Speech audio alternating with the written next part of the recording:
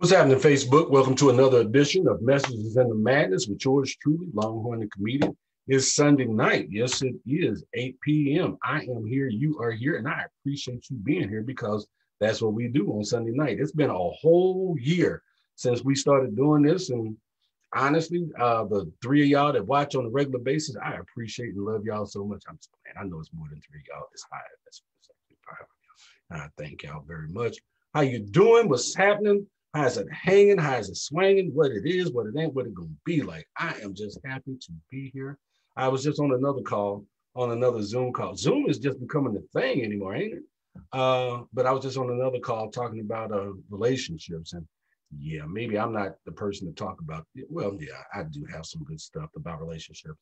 Um, but anyway, it was a good call. It was good. You know, it was fun. I appreciate uh, Pure Talk 2.0 for letting me have, for letting me be on there, being a uh, popping in and talking a little bit because that's what I do. I love to talk, you know, and that's why I hang out down here in the basement because I can talk to me all day long. And people go, well, man, you know, you crazy if you talk to yourself. Like, no, no, you're not crazy if you talk to yourself. It's okay to talk to yourself. It's okay to answer yourself. The problem is when you interrupt yourself. Now that's an issue. So anyway, um, hope everybody's doing good. It's been a good week. Uh, everybody, hope everybody's healthy and strong. Uh, happy birthday shouts go out to uh, grandson Makai Lil Horn, as y'all know him. Y'all watched him grow up on Facebook. He's 13 now. And happy birthday shouts go out to my grandgirl Kayla. She'll be 13 on Tuesday. We used to, yeah, they're three days apart. And we used to call them the uh, co-conspirators because when they was little bitty, they were thick as thieves, but now they're teenagers and yeah, yeah, yeah. Y'all know how that works. So that's a that's a great thing, you know. Um, got got a chance to hang out with him yesterday, and that was cool. And I got to see Kayla today, so that was cool. So you know, proud papa, and y'all know how I am about my little people. So I um look over here and uh oh, let me see, let me say, hey, I see eight people on the screen, but I can't see who all is there. So you know, I don't know you're there if you don't send me a like, a thumbs up, or something like that. So I'm looking at my magic mirror, and who I do see is I see Nanette. Hey, Nanette. I see Charlotte. I see Lorenzo. Hey, thanks a lot, man. On my anniversary is my first anniversary of uh, Messages of the Madness, but I'll take three. That we're gonna speak that into existence is what we're gonna do. So, uh, man, a lot going on. The Cowboys won today, so yes, I'm rocking my Cowboys t-shirt. Yes, I am. Uh, Cowboys for life. I don't even care what you're talking about. Uh, unfortunately, my second team, Kansas City, lost. That was crazy. That was a crazy game. And then the Saints play tomorrow night. So I look forward to hopefully getting a chance to see that.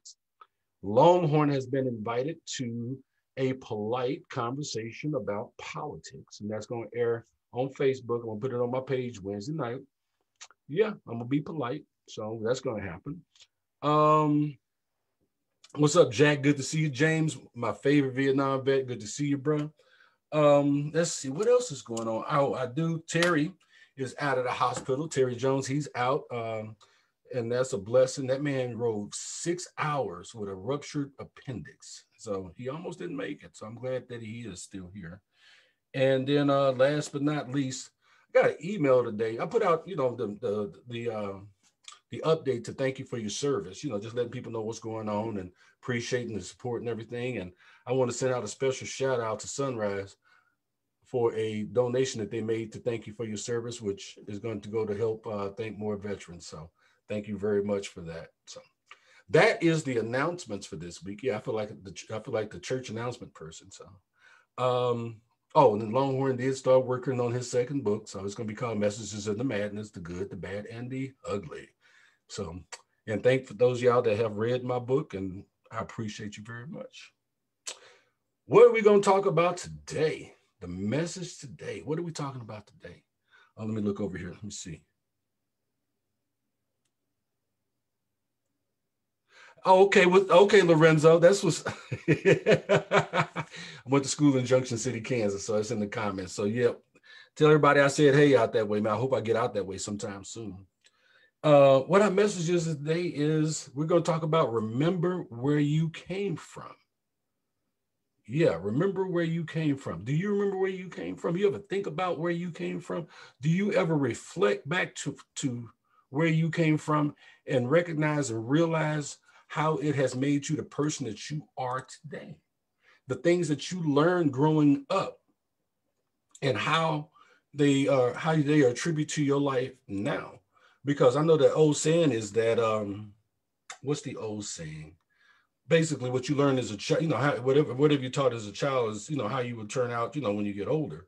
Well, Longhorn had a lot of things that happened to me that shouldn't have happened to me. A lot of things that happened to me that should have happened to me. Um, and I can honestly say that you know it's a ref- it, how you grew up does reflect in your adult life. Um, people that are taught to love, we they they they tend to love people as adults. People who are taught to hate tend to hate people as adults. Uh, people that uh, I mean, just simple things that we learn as, as kids carry forward. You know, like tying your shoe. You learned that as a kid. So the thing I'm looking for is the post that I put up. It said, I've, you know, I put up uh, Nightfall Last. I said, let's play. You know, we were so poor, we had to do what? Well, one of the things I do remember is growing up, you know, um, we didn't have a lot of money. And so, and it was funny because there were times in my life when we did have money, then there was times in my life when we didn't. Yeah, it was kind of a, you know, weird thing. My mother was a gambler. And there were times when we had everything. And then there were times when mama would lose the rent money and we would have to move. Uh, I was writing and I was reflecting back to uh, my eighth grade year in school. I went to two different middle, middle schools that year. And I uh, had made some money earlier and bought my very own pair, my very first pair of Nike tennis shoes. They were a pair of canvas white Nikes. And I used to keep them things spotless clean because I played basketball. So I used to watch them, wash them and bleach on a regular basis. And long story short, I was playing. I was having a great game because my auntie came to see me play, and I was um, doing a fast break back down the back down the uh, court, and I stopped real fast, and my foot went right out the side of that tennis shoe, right there in the middle of the game. Oh man, I was hard. I was mortified, and the coach made me use somebody else's shoes to continue playing the game because I was a starting forward. I think I was starting center. I've been the same height since I was 13. I think I was starting forward. But the shoes that I got repl- that replaced that were not the Nikes. I actually got some Pro Wings from Payless, which you know we we all know back in the day was you know not necessarily the same quality. But what that what I learned from that was to buy better stuff and take care of your stuff. So it's one of those lessons I learned as a kid. Now the question I asked was, you know, um, we were so poor we had to. People said things like put tissue, you know, put a newspaper in their shoes because they had holes in the bottom of them. Somebody said uh, they they grew up without central air and central heat. You know, they had to use space heaters. Or some people uh, grew up without, you know, without phone or cable. Yeah, you remember that was a big deal to go to people's houses and they had cable, so you would go spend the night over their house just to watch cable and just to realize it wasn't shit on cable. Um, Jason said he used to watch, they were so poor, they used to wash paper plates. You know, um, Ken said he lived in a box car and chopped their own cotton.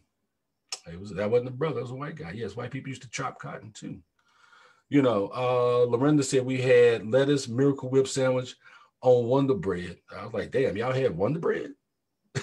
we didn't have Wonder Bread. Wonder Bread was something that you just walk by in the store and was like, man, that's the according to the TV, that stuff is so soft, you know. But so I'm pointing these little things out because now we're here.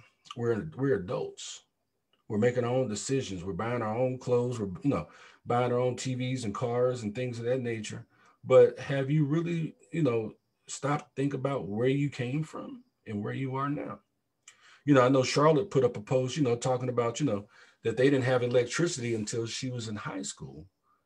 Wow, which you know, kind of takes me back to last week's conversation about, you know, being grateful. But just just stop and think about it. Here's the reason why I want you to remember where you came from. Because some of these things, matter of fact, one of the posts I put up the other night, and um, I basically said, matter of fact, I put it up last night. I said last night I had a taste for a piece of booty bread with margarine and sugar sprinkled on it. Well, when we was growing up at times, that's all we had was, if you don't know what booty bread is, that's those last two pieces of bread in the loaf. that nobody wants to eat because they tough.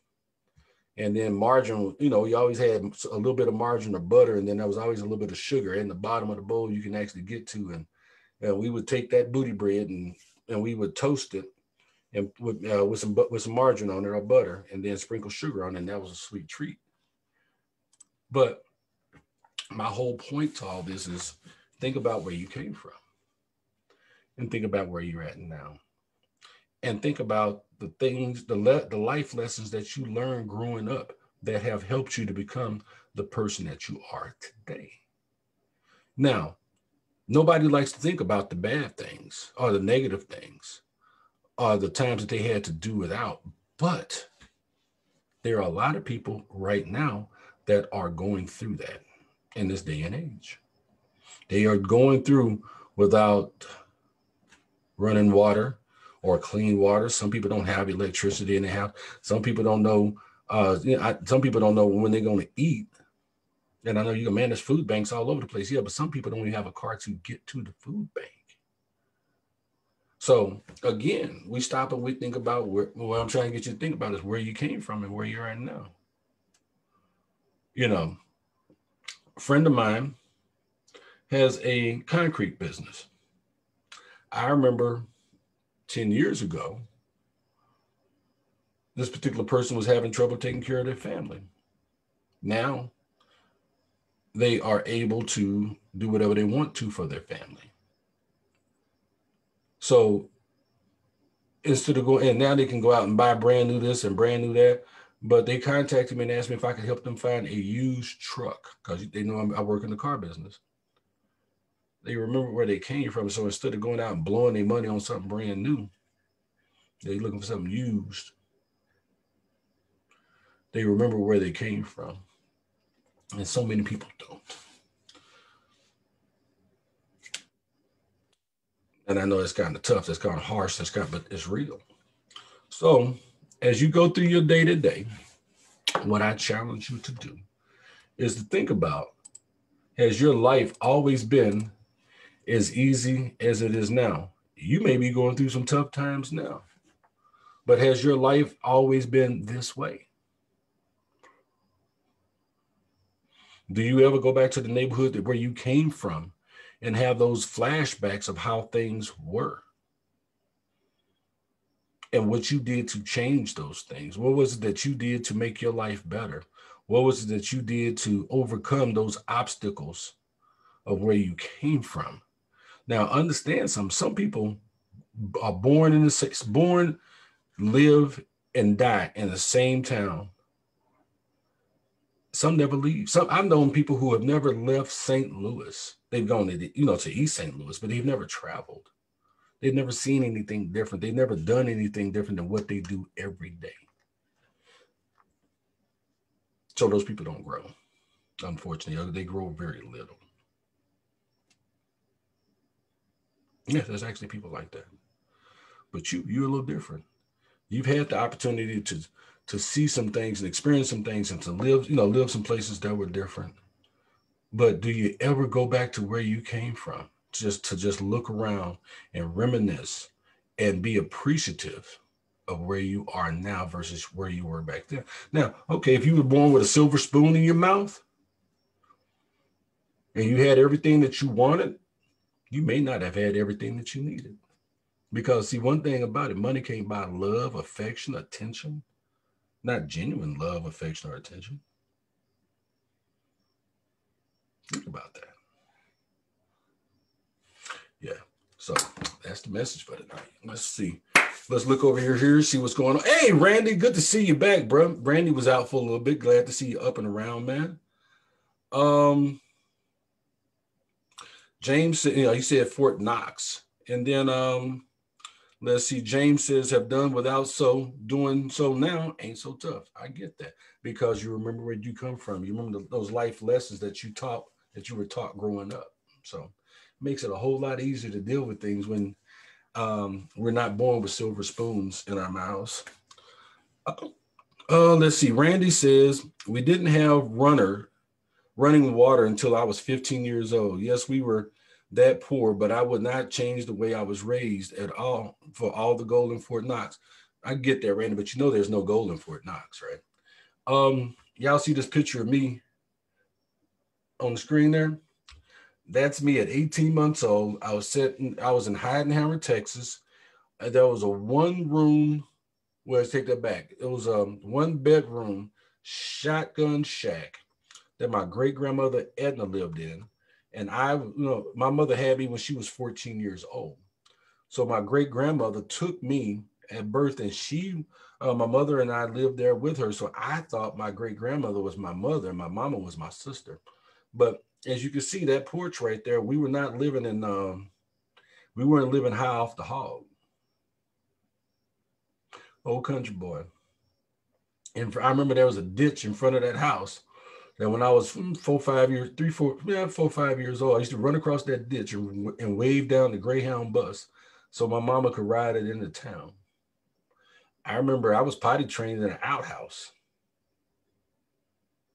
Yeah. So then, you know, when I, it makes me look back and appreciate the different things that I have in my life now, just thinking back to, or looking back at where I came from, very humble beginnings. So it makes, it makes appreciating what you have now even that much more special. So, um, well, I think guys, that's going to do it for tonight. In the meantime, um, check me out on Facebook. Check me out on Instagram. Check me out on TikTok. Uh, check me out on Twitter. I'm starting to use the Twitter feed a little bit more. Uh, Wednesday, if you're not doing nothing, I'm gonna put it up live. Check me out. I'm gonna do a political, polite conversation about politics because honestly, politics is one of my is a passion of mine. I actually wanted to run for public office. Yes, I did. Um, but on more than one occasion, I was dissuaded from doing such. That's another whole story. Maybe I'll write about that sometimes. So, with that, I'm gonna say that hey, Mary Lou, good to see you. Um, Lorenzo, hey, Ryan, what's happening, brother? Good to see you. Thank you very much for popping in. Hey, man, I love y'all. God loves you. Respect yourself. Take care of our kids. Respect our vets. You know, whatever you do, just be you, and don't forget where you came from because where you come from didn't forget about you. I'm Longhorn. God bless y'all.